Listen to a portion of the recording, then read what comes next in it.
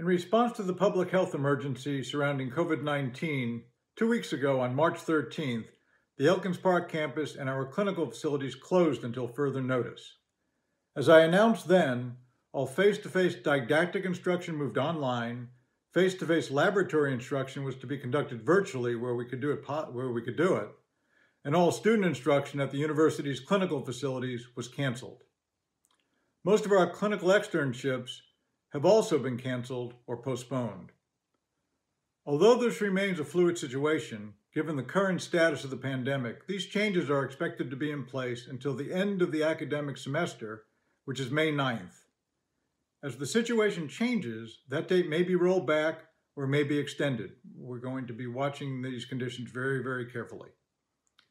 Now, as you all understand, in order to flatten the curve of the pandemic, drastic measures have been taken both nationally and internationally. As you know, more than half of the United States and entire countries like Italy, Spain, the United Kingdom have all been locked down. Collegiate and professional sports seasons have been canceled. Broadway, movie theaters, and music venues have been shuttered. And the Summer Olympics, which were scheduled for July in Japan, have been postponed until 2021. Clearly, we are in the midst of the health crisis of our generation.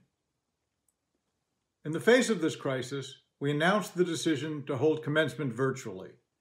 This decision was not taken lightly, and we are all extremely disappointed about this. But given the likely duration of the pandemic and the logistics involved in planning commencement, we felt it would be absolutely irresponsible and unrealistic to plan on a face-to-face -face ceremony either on or off campus. So we made and announced the decision that we could plan the virtual ceremony and also to temper your expectations. The virtual ceremony will capture most of the elements of the traditional one. It won't be perfect, but we're going to do our darndest to make it as close and as meaningful as we possibly can. It will include the President's welcome, elected graduates address, the keynote address, which this year is going to be extremely special because Dr. Tony DeStefano is going to be giving it to us. The presentation of the graduates, including the announcement of each graduate's name, the oath of professionalism, and finally, the Alumni Association congratulations in the end.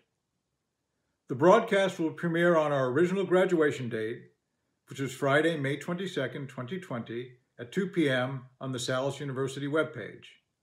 Prior to the virtual ceremony, all graduates are going to receive their caps, tams, gowns, and hoods, and also printed programs in the mail. Celebrants will also have the opportunity to share photos and comments real time through social media. As the premiere broadcast, after the premiere broadcast, excuse me, the ceremony will be then archived on our website for future viewing. And finally, any graduate and their guests who wish to do so certainly can attend the fall commencement ceremony scheduled for October 13th. Just like our expectations regarding the campus closure, if the pandemic takes a dramatic turn for the better, which we hope it does, that would afford us any opportunity to hold a face-to-face -face ceremony on May 22nd, I guarantee you we're going to move heaven and earth to make sure that that happens. Regarding a delayed face-to-face -face commencement over the summer, Unfortunately, logistics really are not going to allow for that.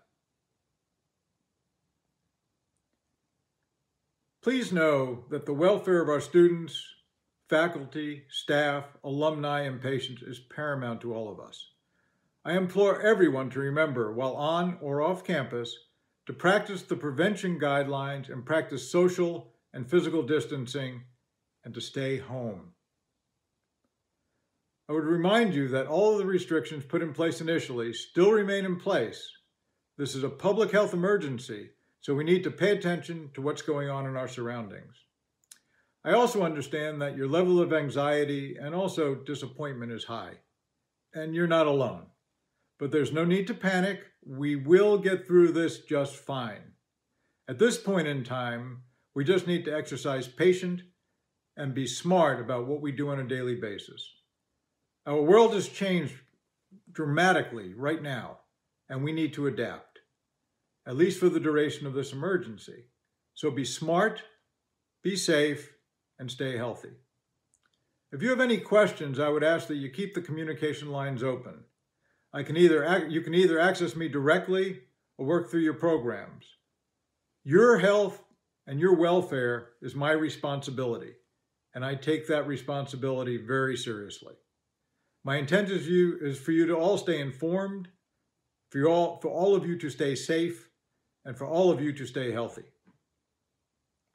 As a reminder, all of the information about COVID-19 is updated on our website, and you know how to get to it. It's salus.edu backslash COVID-19.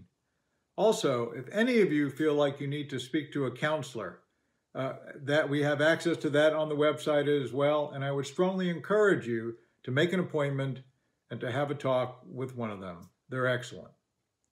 So in closing, let me just say I really appreciate you taking the time to listen to me. I want you to stay safe. I want you to stay healthy. And I can't wait, just like you, to get back to some semblance of what we would consider normal. Take care.